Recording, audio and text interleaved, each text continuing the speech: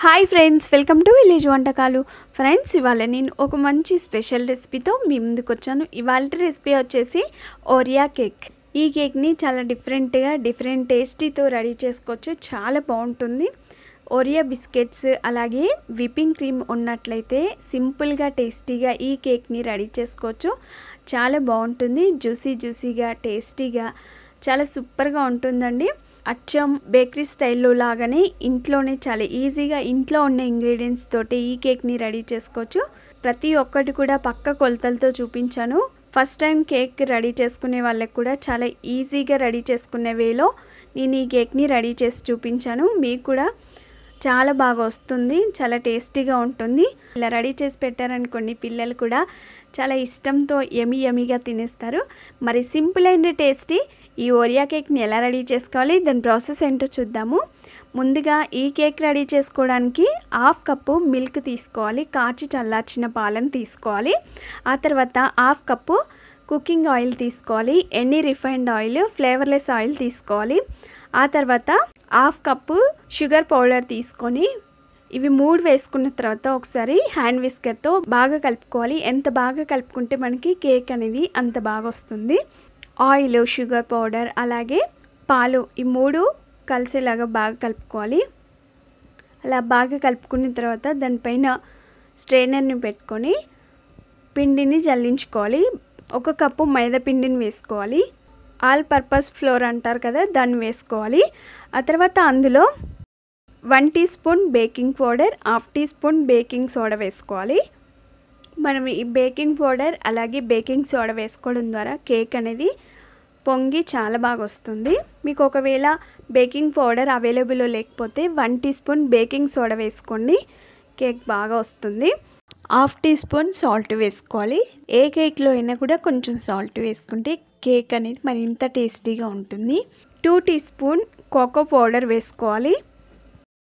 Taste కోసం ఇక్కడ cocoa పౌడర్ని వేసుకోవాలి. కోకో పౌడర్ వేసుకోవడం ద్వారా కేక్ అనేది కలర్ఫుల్గా వస్తుంది. అలాగే టేస్ట్ కూడా చాలా బాగుంటుంది. ఇవన్నీ వేసుకున్న తర్వాత మళ్ళీ ఒకసారి హ్యాండ్ విస్కర్తో బాగా కలుపుకోవాలి.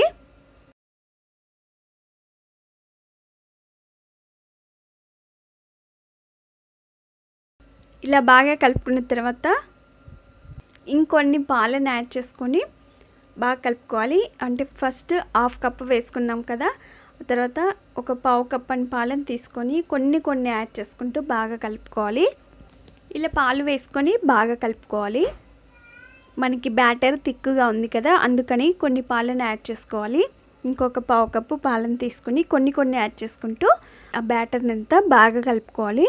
మీ దగ్గర హ్యాండ్ విస్కర్ లాంటివి లేకపోతే బ్లెండర్తో అయినా బ్లెండ్ చేసుకోవచ్చు లేదంటే స్పూన్ అయినా కూడా బాగా కలుపుకోండి.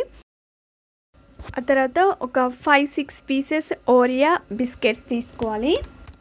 వాటిని ఇలా చిన్న చిన్న పీసెస్ లాగా కట్ చేసుకొని వేసుకోవాలి. ఓరియా బిస్కెట్స్ అంటే అందరికీ ఇష్టమే కదా. పిల్లలైతే మరీ ఇష్టంగా తినేస్తారు. లోపల వైట్ క్రీమ్ ఉంటుంది. ఆ బిస్కెట్ చాక్లెట్ కలర్లో ఉంటుంది కదా. చాలా ఇష్టంతో తినేస్తారు. చాలా బాగుంటుంది. ఇలా ఓరియా బిస్కెట్స్ వేసుకున్న తర్వాత బిస్కెట్స్ అనేది మనకి బ్యాటర్తో కలిసేలాగా బాగా కలుపుకోవాలి. ఒకసారి కలుపుకున్న తర్వాత అందులో వన్ టీ స్పూన్ వెనిగర్ వేసుకోవాలి. ఆ బిస్కెట్స్ అనేది బ్యాటర్తో మిక్స్ అయ్యేలాగా బాగా కలుపుకోవాలి. వెనిగర్ వేసుకోవడం ద్వారా కేకు చాలా బాగా వస్తుందండి. ఇలా కలుపుకున్న తర్వాత దాన్ని ఒక పక్కకు పెట్టేసుకొని కేక్ బౌల్ని కానీ కేక్ ట్రేని లేదంటే ఏదైనా అల్యూమినియం పాత్రను తీసుకొని దానిలో ఒక టూ డ్రాప్స్ ఆయిల్ వేసుకోవాలి. అంతటా కూడా స్ప్రెడ్ చేసుకోవాలి. నేను ఇక్కడ కేక్ ట్రీనే తీసుకుంటున్నాను. ఇలా కేక్ బౌల్కి మొత్తం ఆయిల్ని అప్లై చేసుకోవాలి. ఒకవేళ సరిపోకపోతే ఇంకొంచెం ఆయిల్ని యాడ్ చేసుకొని అంతటా కూడా స్ప్రెడ్ చేసుకోండి. ఆ తర్వాత అందులో కొంచెం మైదా పిండిని వేసుకోవాలి. వన్ టీ స్పూన్ మైదా పిండిని వేసుకొని అంతటా కూడా స్ప్రెడ్ చేసుకోవాలి. కేక్ బ్యాటర్ని మళ్ళీ ఒకసారి బాగా కలుపుకొని ఆ కేక్ ట్రేలో వేసుకోవాలి. ఇలా మిడిల్లో నుండి మొత్తం వేసుకోవాలి. ఈ కేక్ డిఫరెంట్ టేస్టీతో చాలా బాగుంటుందండి. చాక్లెట్ కేక్ లాగని చాలా సూపర్గా ఇంట్లో ఉన్న ఇంగ్రీడియంట్స్ తోటి టేస్టీ కేక్ని రెడీ చేసుకోవచ్చు. ఒకటి ఎక్స్ట్రా ఇంగ్రీడియంట్ కోకో పౌడర్ అలాగే మనకి ఓరియా బిస్కెట్స్ కావాలి. ఈ న్యూ ఇయర్కి ఇలా రెడీ చేసి మీ ఇంట్లో వాళ్ళందరినీ సర్ప్రైజ్ చేయొచ్చు. బర్త్డేస్ కానీ లేదంటే ఏదైనా స్పెషల్ అకేషన్స్ అయినప్పుడు లేదంటే ఏదైనా పార్టీ అయినప్పుడు ఇలా కేక్ రెడీ చేసుకొని సెలబ్రేట్ చేసుకోవచ్చు. చాలా బాగా వస్తుంది. ప్రతి ఒక్కటి కూడా పక్క కొలతలతో చూపించాను. మీకు కూడా చాలా బాగా వస్తుంది. ఇలా కేక్ బౌల్లో వేసుకున్న తర్వాత ఒకసారి కేక్ బౌల్ని ట్యాప్ చేసుకోవాలి. ఎక్కడైనా ఎయిర్ బబుల్స్ ఉన్నా కూడా బ్రేక్ అయిపోతాయి. ట్యాప్ చేసుకున్న తర్వాత నేను ఇక్కడ కేక్ రెడీ చేసుకోవడానికి ఒక బాండిని తీసుకున్నాను. దానిలో స్టాండ్ పెట్టుకొని దానిపై మూత నుంచి ఒక ఐదు లేదా పది నిమిషాలు ఫ్రీ హీట్ చేసుకోవాలి. స్టవ్ని మీడియంలో పెట్టుకొని దీన్ని వేడి చేసుకోవాలి. అది వేడైన తర్వాత మనం రెడీ చేసుకున్న కేక్ బౌల్ని ఆ బాండీలో పెట్టుకొని దానిపై మూత నుంచి ఫార్టీ లేదా ఫార్టీ ఫైవ్ మినిట్స్ దాన్ని బేక్ చేసుకోవాలి. దాన్ని ఉడికించుకోవాలి. దీన్ని బేక్ చేసుకునేటప్పుడు స్టవ్ని సిమ్లో పెట్టుకొని బేక్ చేసుకోవాలి. అలాగైతేనే మనకి పర్ఫెక్ట్ కేక్ రెడీ అయిపోతుంది. ఒక టూత్ పిన్ కానీ ఏదైనా నైఫ్ని తీసుకొని దాంట్లో కుచ్చి చూస్తే మనకి బ్యాటర్ అనేది అతుక్కోకుండా వచ్చినట్లయితే పర్ఫెక్ట్ కేక్ రెడీ అయిందని అర్థమవుతుందండి. చూసారా ఇక్కడ? ఫార్టీ ఫైవ్ మినిట్స్ అయిపోయింది కేక్ పర్ఫెక్ట్గా రెడీ అయిపోయింది. బ్యాటర్ ఎక్కడ కూడా అతుక్కోకుండా వచ్చింది. దానిని బాండీ నుండి సపరేట్ చేసుకొని రూమ్ టెంపరేచర్ వచ్చేంత వరకు మనం చల్లారనివ్వాలి. ఆ తర్వాత వేరొక బౌల్ని తీసుకొని అందులో వన్ కప్పు విప్పింగ్ క్రీమ్ తీసుకొని ఇలా బ్లెండర్తో బాగా బ్లెండ్ చేసుకోవాలి.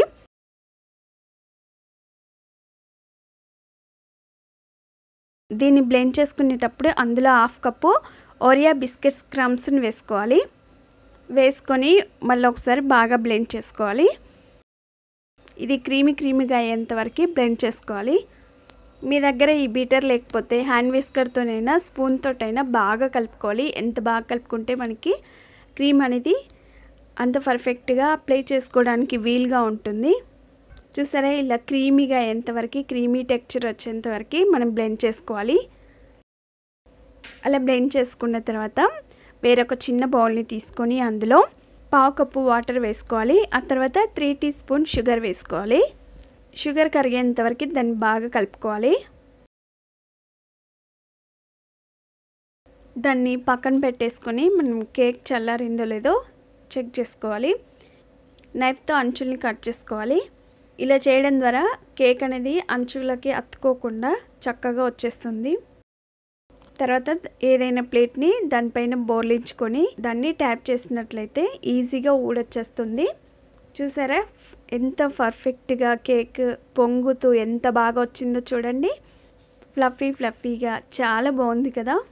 ఇలా ప్లేట్లోకి తీసుకొని చాక్తో కట్ చేసుకొని సర్వ్ చేసుకోవచ్చు. లేదంటే దీన్ని కొంచెం డెకరేట్ చేసుకోవాలనుకుంటే కేక్ని ఇలా త్రీ పీసెస్ లాగా కట్ చేసుకోవాలి. నేను ముందు వీడియోలో బటర్ స్కాచ్ కేక్ని ఎలా రెడీ చేసుకోవాలో చూపించాను. చాలా ఈజీ వేలో ఈజీ ప్రాసెస్లో దాన్ని రెడీ చేసుకోవచ్చు. ఎవరైనా చూడని వాళ్ళు ఉంటే కింద డిస్క్రిప్షన్ బాక్స్లో లింక్ ఇస్తాను. వాచ్ చేయని వాళ్ళు ఒకసారి వాచ్ చేయండి. దానిపైన కొంచెం మనం రెడీ చేసుకున్న వీపింగ్ క్రీమ్ని అప్లై చేసుకొని మనం కట్ చేసుకున్న కేక్ని పెట్టుకొని దానిపై మనం ముందుగా కలిపెట్టుకున్న షుగర్ సిరప్ని అప్లై చేసుకోవాలి. ఇలా మొత్తం అప్లై చేసుకోవాలి. కేక్ అనేది జ్యూసీగా అవ్వడం కోసమే ఇక్కడ షుగర్ సిరప్ వేసుకోవాలి. ఇలా కొంచెం అప్లై చేసుకున్న తర్వాత దానిపైన మనం ముందుగా రెడీ చేసుకున్న ఓరియా విప్పింగ్ క్రీమ్ని వేసుకోవాలి. అంతటా కూడా స్ప్రెడ్ చేసుకోవాలి. ఆ తర్వాత దానిపైన ఓరియా బిస్కెట్స్ క్రమ్స్ని వేసుకోవాలి. తర్వాత చాక్లెట్ సాస్ని వేసుకొని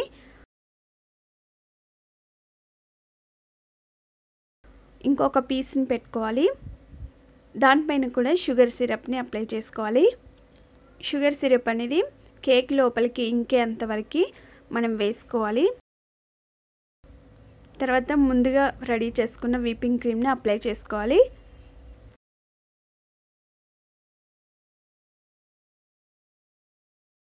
పైన అప్లై చేసుకున్న తర్వాత దాని చుట్టూ కూడా విప్పింగ్ క్రీమ్ని అప్లై చేసుకోవాలి.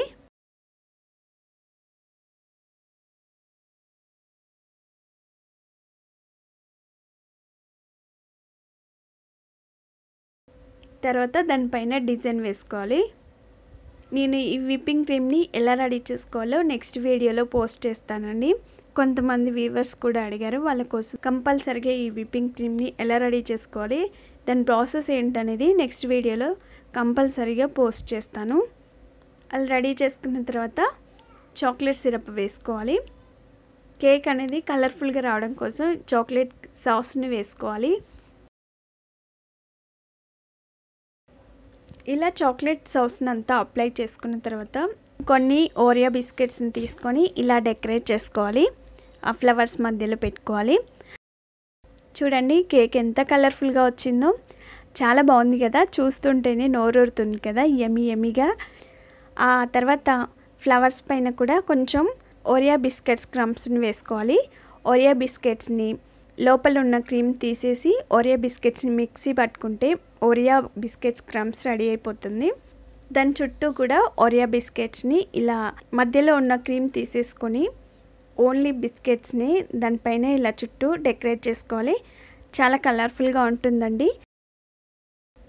ఇలా రెడీ చేసుకున్న కేక్ని ఫ్రిడ్జ్లో ఒక హాఫ్ అన్ అవర్ ఉంచినట్లయితే కూల్ అయిపోతుంది.